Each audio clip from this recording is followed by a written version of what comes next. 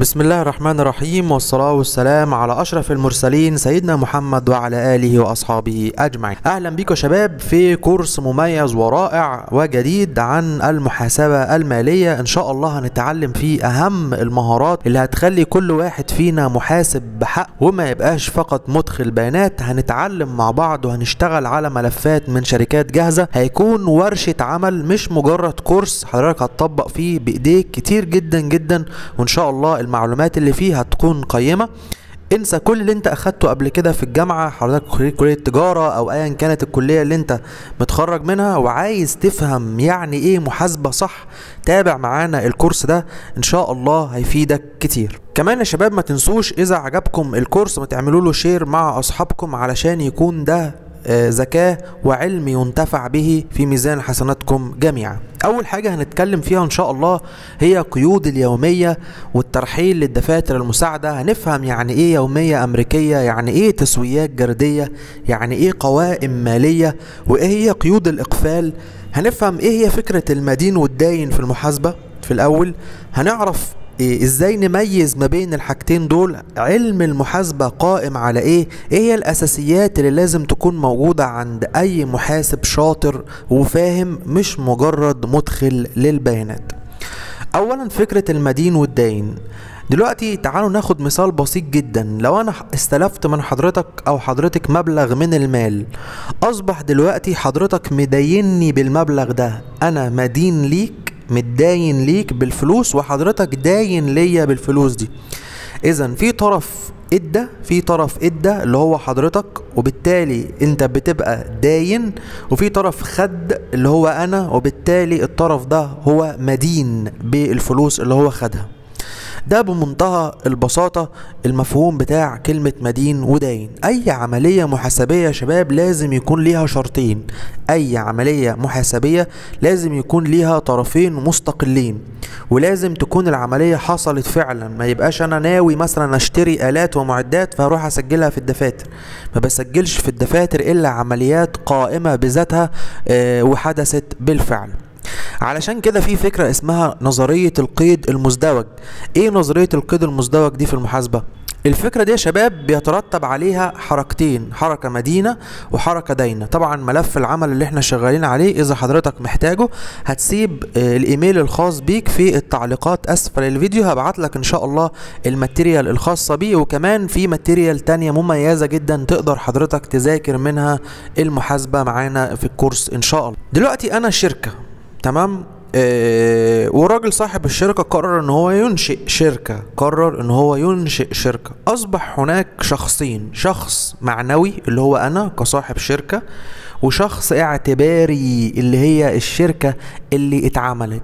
يعني معنى كده إن الشركة أصبح ليها شخصية مستقلة عن صاحب الشركة شخصية اعتبارية علشان أعرف أسجل يا شباب القيود. لأن القيد زي ما قلنا بيبقى معتمد على حاجتين أو طرفين. إزاي هيبقى شخص واحد وهيسجل طرفين؟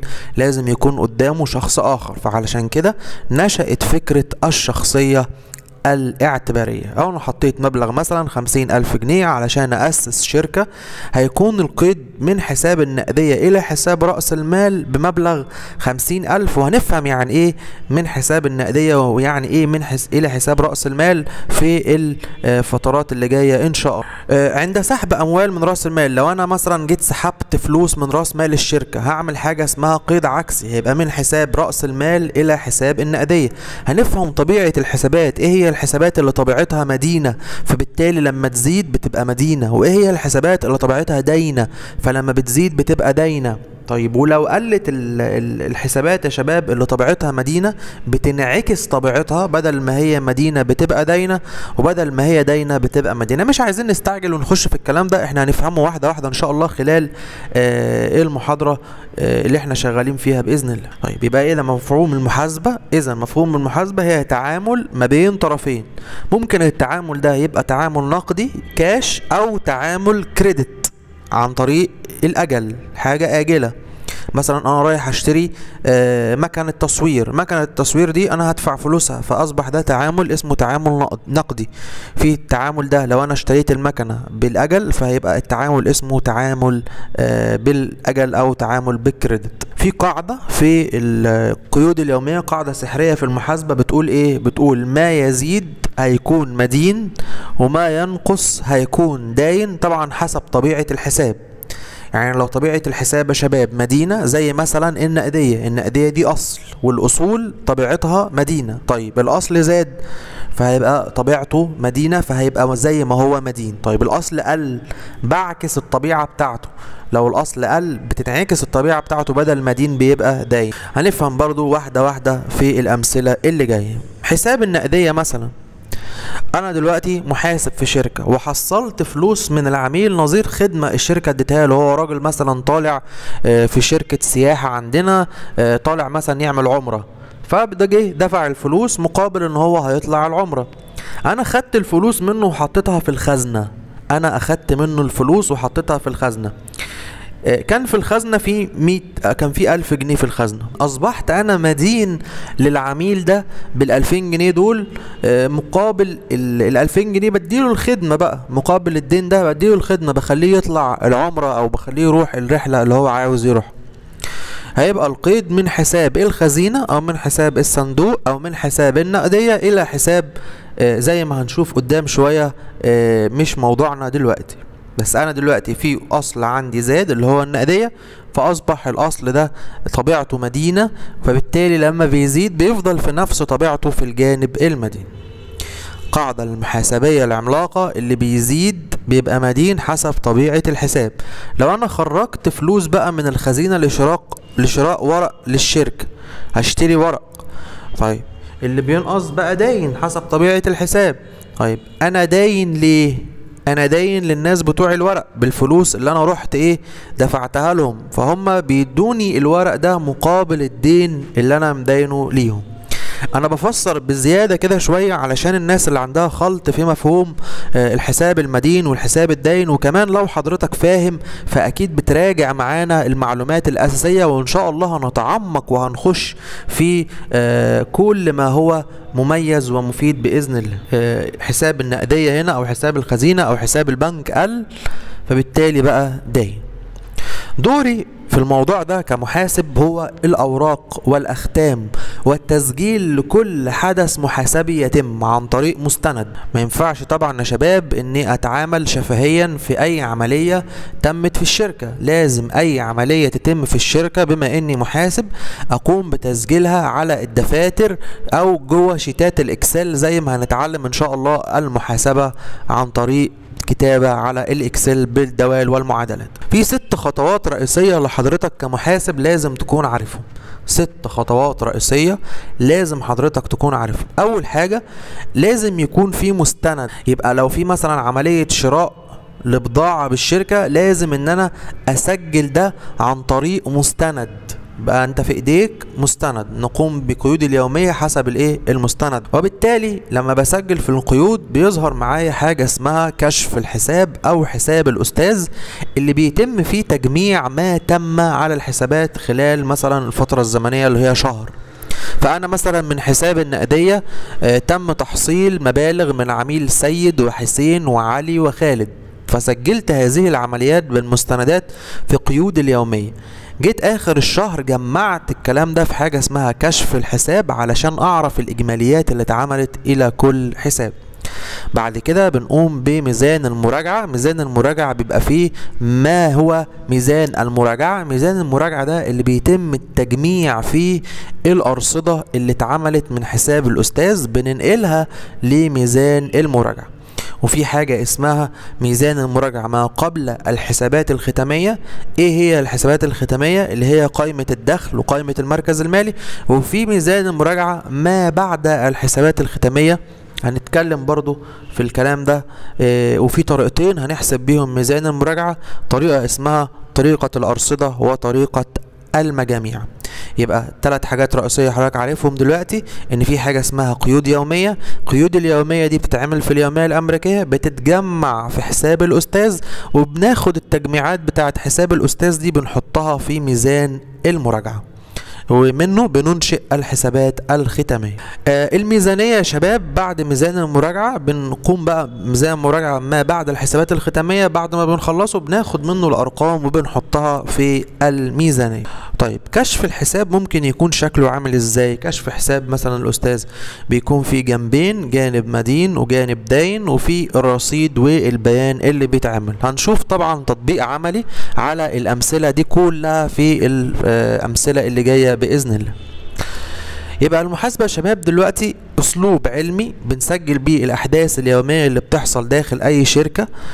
بيتم عرض نتائج النشاط وموقف الشركة في شكل قوائم وتقارير بتفيد المهتمين. في ناس بتهتم بعلم المحاسبة اللي حضرتك بتعمله كشركة يبقى انت مش بتسجل مجرد بتسجل لنفسك لا ده في ناس تانية بتيجي يا إما إن هي بتراقب على شغلك أو بتاخد البيانات دي علشان تعرف موقف الشركة المالي وإيه هي طبيعة الشغل بتاعها هل بتكسب هل بتخسر. طيب مين هم المهتمين وليه أصلا إحنا بندرس علم المحاسبة؟ المهتمين يا شباب هم الشركاء في أي مشروع. أي واحد حضرتك جه شاركك في مشروع أو شارك حضرتك في مشروع فهو شريك. من حقه إن هو يطلع ويعرف إحنا كسبنا إحنا خسرنا إحنا رايحين فين. مصلحة الضرائب كمان مهتمة إن هي تعرف موقف الشركة وبالتالي تحسب عليها الضرائب بناء على أرقام الشركة بتحققها. البنوك اللي حضرتك بتتعامل معاها مهتمة الدائنين اللي معطيين حضرتك قروض ناس مسلفاك فلوس محتاجة إن هي تعرف موقف الشركة والقيود اللي بتتم في الشركة وإيه اللي طلع وإيه اللي دخل جوه الشركة. يبقى مهم جدا نعرف مين هم المهتمين بعلم المحاسبة الخاص بالشركة بتاعتنا. وبرضه مهم نعرف إيه هي الأنشطة اللي بتتعمل في أي مشروع. أي مشروع يا شباب إحنا حابين نعمله أو نأسسه هينقسم إلى ثلاث عمليات رئيسية أو ثلاث أنشطة رئيسية. أول نشاط اسمه نشاط التمويل تاني نشاط اسمه نشاط الاستثمار تالت نشاط اسمه نشاط التشغيل. إيه هو نشاط التمويل؟ نشاط التمويل أول حاجة بفكر فيها بشوف أنا هجيب الفلوس اللي هعمل بيها المشروع دي منين. يا إما هتكون مصادر ذاتية مصادر الأموال يا إما مصادر ذاتية اللي هو رأس المال بتاعي الخاص بيا أو مصادر خارجية اللي هم الغير اللي هم الدائنون الناس اللي مدياني فلوس علشان أشغلها في المشروع. تاني نشاط هو نشاط الاستثمار. إيه هو نشاط الاستثمار؟ اللي أنا بستثمر من خلاله أو بستخدم وأوظف الفلوس اللي أنا أخدتها من نشاط التمويل. أشتري بقى ممتلكات أشتري أجهزة اللي أنا هستخدمها آه كشركة في المشروع بتاعي. بعد كده نشاط التشغيل. هبدأ بقى آه أوظف وأشغل الممتلكات اللي أنا اشتريتها دي سواء كانت آلات معدات آه مكن أي حاجة لإنتاج الدخل وأطلع إيراد للشركة بتاعتي. يبقى إحنا دلوقتي فهمنا إيه هي المحاسبة؟ مين المهتمين بعلم المحاسبة؟ يعني إيه مدين وداين إيه هي الأنشطة المختلفة لأي مشروع؟ ومكملين مع بعض إن شاء الله معلومات مميزة جدا. تعالوا ناخد مثال على الكلام اللي إحنا قلناه. مثلا هنأسس مشروع مكتب ترجمة. هنأسس مشروع مكتب هيقوم بالترجمة من اللغة الإنجليزية للغة العربية. المشروع بتاعنا عملنا دراسة جدوى كده قلنا إن هو بيحتاج 15 ألف جنيه أو 15 ألف ريال. إحنا معانا من المبلغ ده 10000 جنيه فقط. معانا 10000 جنيه فقط. هنلجأ لإيه بقى؟ هنلجأ لحاجة اسمها الغير. هلجأ للغير أو هلجأ لإن حد يقرضني أموال فإذا أنا هعتمد في مصادر التمويل بتاعتي يا إما على رأس المال بتاعي يا إما هعتمد على الاقتراض من الغير. فأنا ال 10000 جنيه رأس المال بتاعي وفي 5000 جنيه قمت باقتراضهم من أحد الأصدقاء مثلا وكونت 15000 جنيه اللي محتاجهم المشروع. ده اسمه مصادر التمويل. طيب في الناحية التانية حاجة اسمها استخدامات الأموال. طب أنا هستخدم الأموال اللي أنا أخدتها دي في إيه؟ في عندي 8000 جنيه. جبت بيهم كمبيوترات أجهزة كمبيوتر في 3000 جنيه ونص أخدت بيهم أساس واشتريت أساس. في 2000 جنيه جبت بيهم طبعة علشان أطبع الأوراق. وفي 1000 جنيه مخزون قمت بشراء أوراق أو قمت بشراء آه بضاعة مثلا كمخزون ليا أشغلها في المشروع بتاعي. واتبقى معايا طبعا 500 جنيه فقط هي نقدية هتبقى سيولة في جيبي علشان إذا احتجت أي أموال. بالتالي الإجمالي بتاعي هنا هيكون 15000 جنيه. الموضوع البسيط اللي أنا كنت بتناقش مع حضراتكم فيه ده هو الميزانية. تخيل حضرتك إن هي دي الميزانية. تنقسم إلى حاجتين حاجة اسمها استخدامات الأموال وحاجة اسمها مصادر التمويل. افهم معايا قبل ما نخش في فكرة الأصول الثابتة والأصول المتداولة وحقوق الملكية والخصوم. افهم معايا إن الحاجات اللي على اليمين في الميزانية اسمها استخدامات الأموال والحاجات اللي على الشمال اسمها مصادر التمويل بحيث حضرتك تبقى فاهم إيه هي الميزانية ما نبقاش حافظين خطوات وفقط. إذا الميزانية يا شباب بتنقسم إلى حاجتين. الميزانية بتنقسم لاستخدامات أموال اللي هي بيبقى اسمها الأصول. استخدامات الأموال دي اسمها إيه؟ اسمها أصول الأصول بتاعتي. وتاني حاجة مصادر الأموال بتنقسم إلى حاجتين هي حقوق الملكية اللي هي المصادر الذاتية ده رأس المال بتاعي أو مصادر أموال من الغير اللي أنا اقترضت من الغير فأصبح اسمهم الخصوم وبالتالي نشأت المعادلة الرئيسية في علم المحاسبة إن الأصول بتساوي حقوق الملكية زائد الخصوم. شايفين يا شباب الفهم حلو إزاي؟ إحنا مش داخلين في الموضوع على طول. الأصول تساوي حقوق الملكية زائد الخصوم تتكون الميزانية من جانبين. الجانب الأيمن هو الاستثمارات قصيرة الأجل والاستثمارات والأصول طويلة الأجل. والجانب اليسار حقوق الملكية و لا إحنا مش عايزين نحفظ إحنا عايزين نفهم محاسبة. فحتى لو حضرتك راجل محاسب بقالك خبرة مثلا ما شاء الله عشر سنوات أو خمس سنوات ابدأ الكورس من بدايته راجع على المعلومات وزود كمان معرفة بالأساسيات اللي إحنا هنتكلم فيها بإذن الله. تعالوا ناخد تمرين كده بسيط يا شباب. أنا عندي شركة سين. الشركة سين الأصول بتاعتها سبعين ألف جنيه والخصوم بتاعتها تلاتين ألف جنيه. حقوق الملكية كام بقى؟ فانا طبعا وفقا للمعادلة بتاعتنا هيبقى الأصول بتساوي الخصوم زائد حقوق الملكية. هبدأ إن أنا أقول طبعا سبع سبعين ألف ناقص تلاتين ألف هيبقى حقوق الملكية باربعين ألف. وهنا الشركة صاد الأصول بتاعتها تلاتين ألف الخصوم مجهولة حقوق الملكية ألفين. طبعا هقول إن الأصول بتساوي الخصوم زائد حقوق الملكية هيبقى تلاتين ألف ناقص عشرين ألف هيبقى عشر تلاف وده مثال بسيط خالص على المعادلة الخاصة بالميزانية. طيب إحنا دلوقتي فهمنا إيه هي الشخصية الاعتبارية؟ وقلنا إن طالما أنا أسست شركة الشركة دي أصبح لها شخصية منفصلة عني ليها ذمة مالية مستقلة. طيب في أربع مفاهيم رئيسية هتميز المحاسب. حلوة كلمة الفاهم عن مدخل البيانات. إيه هم الأربع مفاهيم دول؟ ركز معايا. أول حاجة يا شباب في عندي حاجة اسمها الشراء بالأجل. لو أنا اشتريت بالأجل لو أنا اشتريت بالأجل بيبقى في عندي حاجتين. إما إن أنا بتعهد كتابيا للراجل اللي أنا خدت منه الطبعة مثلا بالأجل آه مضيت على ورق. الورقة دي اسمها كمبيالة أو اسمها آه أوراق دفع. الفلوس دي عليا. أنا مضيتها وكتبتها له عشان أنا هدفع له الفلوس دي فبالتالي تسمى أوراق دفع. أوراق دفع. إيه هي أوراق الدفع؟ أوراق الدفع دي تعهد كتابي عليا التزام عليا خصوم عليا في الشركة.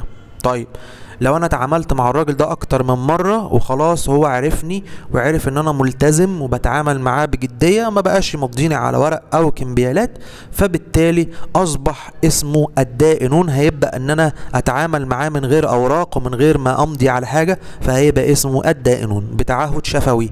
إن أنا آه بتعهد له شفويا أسدد المبلغ. وبرده ده بيبقى خصوم عليا. يبقى أوراق الدفع والدائنون خصوم عليا. الفرق ما بينهم إن أوراق الدفع بتبقى بكمبيالة أو بحاجة أنا بكتبها الدائنون تعهد كتابي. في عندي برضو البيع بالأجل. لو أنا هبيع بالأجل أو بتعهد كتابي همضي الناس على شيكات أو كمبيالات هتسمى أوراق القبض. دي فلوس ليا أصول ليا. طيب لو بتعهد شفوي يا شباب هيبقى اسمها إيه؟ هيبقى اسمها المدينون. ما إحنا فهمنا كده مفهوم الدائنون ومفهوم المدينون وجم منين وإيه الفرق بينهم ما بين أوراق القبض وأوراق الدفع. ممتاز. في عندي بقى أنواع مختلفة للأصول. إيه هي؟ أصول الثابتة والأصول المتداولة. طبعا حضرتك هتقولي طب أنا عارف الكلام ده. تعال نراجع ونفهم صح بدل ما نحفظ خطوات. إيه هي الأصول الثابتة؟ الأصول الثابتة دي أصول بتمتلكها الشركة بغرض الاستخدام لأكتر من سنة. والله يا فندم أنا دلوقتي معايا أصل الأصل ده هو آلة لإنتاج مثلا الكوبايات آلة آلة لإنتاج الكوبايات. إحنا بنشرب فيها المية. ده أصل أنا شاريه علشان أستخدمه لأكتر من سنة أصبح أصل ثابت. طيب لو أصل أنا عايز أستخدمه برضو بس بغرض إيه؟ بغرض الاستخدام أو البيع. أو البيع لمدة إيه؟ لمدة أقل من سنة. أنا اشتريت أرض الأرض دي أنا مش هبني عليها حاجة في, شر... في مشروعي أو في شركتي. أنا شاريها علشان أستثمر فيها وهسيبها سنة أو اتنين وبعد كده بيعها أصبح ده أصل إيه؟ أصل متداول طالما لأقل من سنة وطالما بغرض البيع مش بغرض الاستخدام. افهم معايا. إيه مثال الأصول الثابتة؟ آلات معدات أساس مباني أراضي. طيب إيه مثال الأصول المتداولة؟ المخزون النقدية أدوات كتابية ومطبوعات المدينين وأوراق القبض. عرفنا الفرق ما بينهم. الاستثمارات المالية مثلا استثمرت مبالغ في البورصة أو اي مكان عشان تدعم المشروع بتاعي أصبحت أصول متداولة. جميل.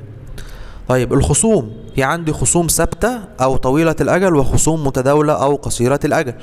إيه الخصوم طويلة الأجل المبالغ على الشركة؟ يجب أن تسدد في مدة تزيد عن عام زي قروض. أنا بقترض مثلا من الغير مع تحفظنا عن الاقتراض من البنوك وفوائد البنوك على إنها رأينا حرام. ونرجع طبعا فيها لاساتذتنا من علماء الدين ونتأكد. خصوم متداولة أو قصيرة الأجل مبالغ على الشركة يجب أن تسدد في خلال عام في خلال عام. زي إيه؟ الدائنون وأوراق الدفع. عرفنا الفرق ما بين الدائنون وأوراق الدفع. تمام يا شباب؟ تمام. طيب اذا يا شباب دلوقتي نقدر نعمل ميزانية وإحنا مطمنين. وعرفنا إن الميزانية فيها حاجة اسمها أصول متداولة زي النقدية المخزون المدينين أوراق القبض استثمارات مالية وأدوات كتابية. وفي بعد كده إجمالي الأصول المتداولة. بعد كده في عندي الأصول الثابتة آلات ومعدات مباني وأساس وإجمالي للأصول الثابتة ثم الإجمالي الكلي.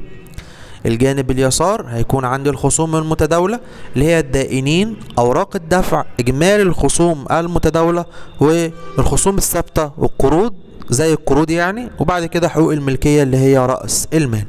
لازم طبعا الجانب اليمين من الميزانية يساوي الجانب اليسار. ميزانية هنعملها دلوقتي إن شاء الله مع بعض نختم بيها المحاضرة بتاعتنا.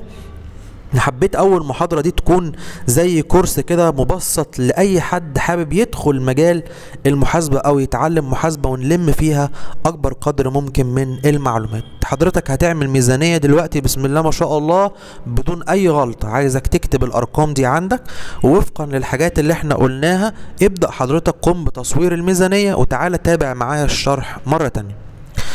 عندي نقدية ب 200 أراضي ب 200 مباني 500 مدينين 300 قروض طويلة الأجل ب 500 دائنين ب 300 رأس المال ب 300 أدوات كتابية ومطبوعات ب 100 وأوراق دفع ب 200 طيب لو أنا حبيت دلوقتي يا شباب أحط الحاجات دي في أماكنها في أماكنها فهكتب منشأة شركة المتحدة ماشي؟ في 31 ديسمبر الأصول المتداولة طبعا هنحط ال 200 بتوع النقدية 300 بتوع المدينين أدوات كتابية ومطبوعات ال 100 هنحطها برضو في الأصول المتداولة. طبعا الناحية الثانية الخصوم قصيرة الأجل هنحط الدائنين وأوراق الدفع في الجانب اليسار من الميزانية. هيبقى عندي إجمالي الأصول المتداولة 600 وإجمالي الخصوم قصيرة الأجل 500 عندي كمان أصول ثابتة الأراضي والمباني. اراضي ب 200 ومباني ب 500 يبقوا 700 وإجمالي طبعا الخصوم قصيره الأجل 500 في عندي خصوم طويلة الأجل قروض في عندي 500 وعندي رأس المال هو 300 لشركة المتحدة. أصبح دلوقتي الإجمالي الكلي المدين 1300 وأصبح الإجمالي الداين ممتاز. برافو عليكم 1300 دي كانت أهم المعلومات اللي إحنا اتكلمنا فيها إن شاء الله في المحاضرة دي. وبإذن الله يا شباب بوعدكم بكورس مميز جدا. هنتعرف على طبيعة الحسابات هنتعرف إزاي نصمم قيود وهنعرف نعمل كمان كل الشغل ده ببرنامج ال Excel. إذا عجبكم الفيديو ما تنسوش تدعمونا بال share وال like وال subscribe. بلغوا زمايلكم اجعلوها زكاة للعلم. إن شاء الله في شهادة لمن ينهي هذا الكورس. في نهاية الكورس بإذن الله هنعمل اختبار آه أونلاين. حضرتك هتكتب الإيميل بتاعك تحت الفيديو بعد ما نخلص خالص ال course. وبعد كده نبعت لحضرتك الاختبار على الإيميل. حضرتك هتجاوب عليه. إذا حضرتك نجحت واجتزت الاختبار بإذن الله بنبعت لك شهادة من First Learning Academy الأكاديمية الخاصة بنا مجانا لوجه الله تعالى مختومة ومعتمدة وتقدر تحطها في ال CV الخاص بيك. ما تنسوش تصلوا على النبي صلى الله عليه وسلم وأشوفكم في فيديو جديد. والسلام عليكم ورحمة الله وبركاته. إن أعجبك الفيديو لا تنسى الإعجاب والاشتراك في القناة.